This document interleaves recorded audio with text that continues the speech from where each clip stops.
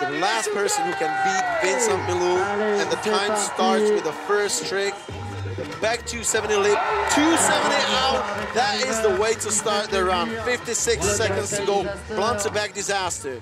And a tray flip, tray bomb across the A-frame coming for the gap with a frontside air over the SFR channel. 43 seconds to go for Daisuke Ikeda.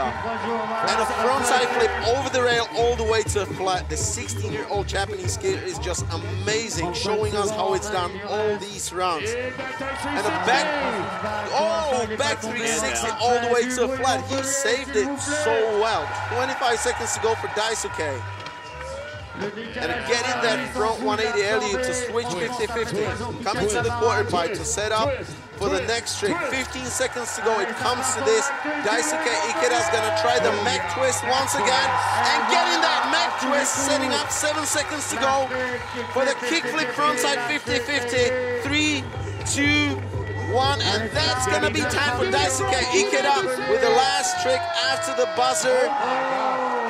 That's not gonna come for the score. That was way after time.